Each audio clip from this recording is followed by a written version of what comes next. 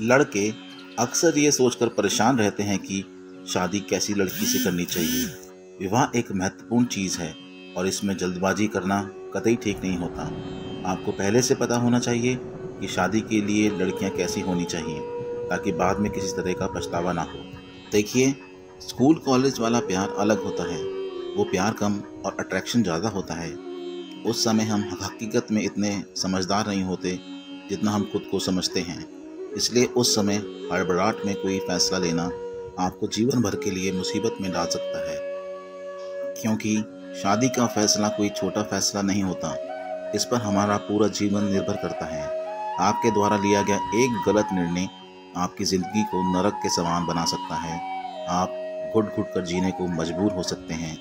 इसलिए कैसी लड़की से शादी करनी चाहिए आपको ज्ञात होना ज़रूरी है। कई बार हम बस किसी लड़की की सुंदरता को देखकर ही उसके साथ विवाह करने का फैसला ले लेते हैं। उसका रंग रूप देखकर हम इतने मोहित हो जाते हैं कि कुछ और ज़्यादा सोच ही नहीं पाते। यही गलती ज़्यादातर लोग करते हैं। माना कि हर लड़का चाहता है कि उसकी शादी एक खूबसूरत लड़की से हो, पर शादी के लिए सिर्फ़ यही एक सुंदरता का गुण होना ज़रूरी नहीं होता। हमने कई ऐसी शादीशुदा खूबसूरत महिलाएँ देखी हैं जो खूबसूरत तो हैं, पर उनमें अवगुणों की भरमार है। उन्होंने शादी होते ही लड़के और लड़के के परिवार वालों का जीना हराम कर दिया।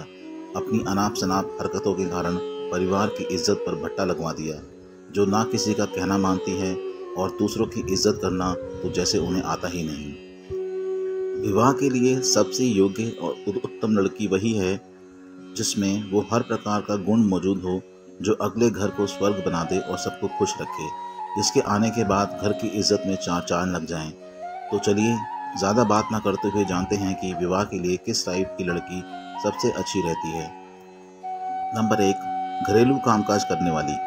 विवाह के बाद सबसे बड़ी दिक्कत तब होती है जब किसी को पता चलता है कि उसके साथ, जिस जिसकी शादी हुई है, उसे घरेलू कार्यों की जानकारी ही नहीं है। ना उसे अच्छे से खाना बनाना आता है और ना ही दूसरे अन्य साफ़ सफ़ाई के कार्य सही से कर पाती है। ऐसे में बेचारा आदमी परेशान हो जाता है और सोचता है कि यार क्या फ़ायदा हुआ ऐसी शादी करने का, जिसमें सारा घर का काम भी मुझे ही करना पड़ रहा है। या फिर इतना समझा लेने के बाद भी उसकी पत्नी हर काम में कोई ना कोई कमी छोड़ ही देती है। नंबर दो, छोटे बड़ों सबकी इज़्ज़त करने वाली।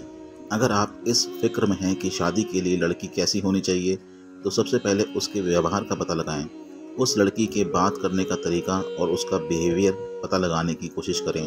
असल में जो लड़की शादी से पहले अपने घर में किसी भी छोटे बड़ों की इज़्ज़त नहीं करती, वो बाद में ससुराल में भी नहीं करेगी। ये बात तय है। इसलिए पहले से ही आस पड़ोस वालों से इस बात की जानकारी ले लेनी चाहिए कि कहीं वो लड़की बदतमीज़ तो नहीं है, क्योंकि अगर ऐसा हुआ तो ये आपके और आपके परिवार के लिए अच्छा नहीं होगा। हो सकता है शादी के कुछ महीनों तक वो आपके साथ अच्छा व्यवहार करे, पर आपने वो कहावत तो सुनी ही होगी, चोर, चोरी छोड़ सकता है सीना जोरी नहीं। कभी ना कभी वो अपनी औकात पर आ ही जाएगी। नंबर तीन, बचत करने का गुण हो। किसी का घर बसेगा या उजड़ेगा, ये निर्भर करता है उस घर की बहू पर। वो कहते हैं ना कि, अगर पत्नी समझदार हो और बचत करने वाली हो तो कम आमदनी के बावजूद भी वो अपना परिवार सही से पाल लेती है और अपना घर बसा लेती है।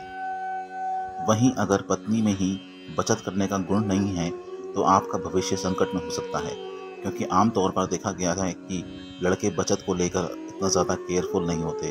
वो लोग अपने महीने की तनख्वाह पत्नी को दे देते हैं। उसके बाद घर के खर्चे को मैनेज करना और उसमें से कुछ बचाना पत्नी का ही काम होता है। इसलिए सोचिए, अगर बाढ़ ही खेत को खाने लग जाए तो इसलिए पत्नी को बचत करने वाली होना चाहिए। उसे पता होना चाहिए कि किस चीज़ पर पैसा खर्चना सही है और किस पर नहीं। नंबर चार, अहम ना हो। शादी के लिए सबसे अच्छी लड़की का चुनाव करते वक्त इस चीज़ पर ध्यान देना बहुत ही ज़्यादा ज़रूरी होता है। क्योंकि हम आए दिन ऐसे समाचार सुनते रहते हैं, जिसमें लड़की के अहम के चलते परिवार में बड़े बड़े झगड़ों की नौबत आ जाती है।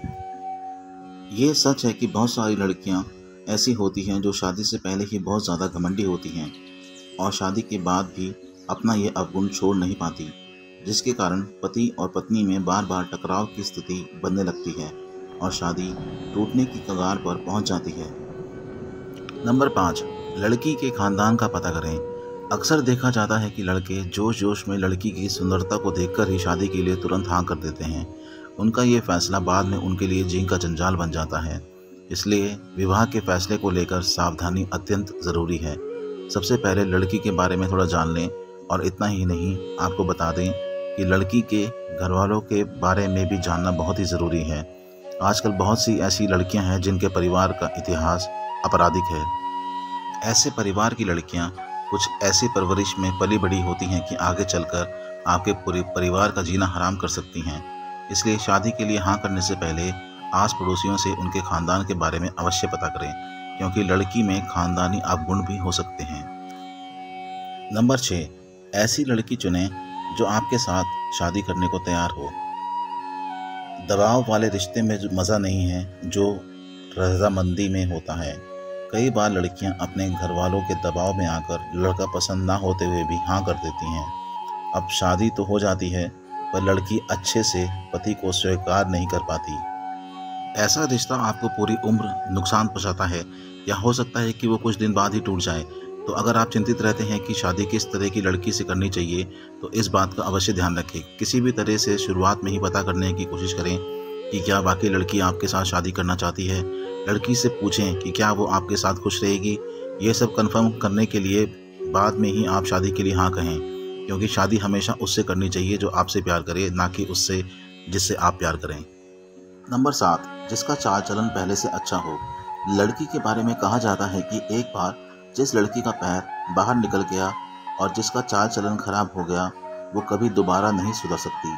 इसलिए शादी करने से पहले लड़की के चाल चलन और चरित्र के बारे में जानना आवश्यक है। शादी उसी लड़की से करें जो आज तक अपने घर पर मर्यादा में रहती आई हो और जिसके बारे में उसके आस पड़ोस वाले कुछ बुरा ना बोले, क्योंकि ऐसी ही लड़की आपके परिवार की इज़्ज़त को संभाल पाएगी। जिस लड़की को खुद ही नहीं पता कि इज़्ज़त क्या होती है, वो तो बस आपकी भी बदनामी ही करवा सकती है। नंबर आठ, संघर्ष करने का गुण हो। बुरा मत मानना, लेकिन आजकल जितनी भी नई बहुएँ आ रही हैं उनमें से ज़्यादातर में सहनशीलता और संघर्ष करने का गुण है ही नहीं। ये हम अपने ही आस पड़ोस में सुनते रहते हैं। हर जगह सुनने को मिलता है कि लड़कियाँ बस पैसों के पीछे भागती हैं।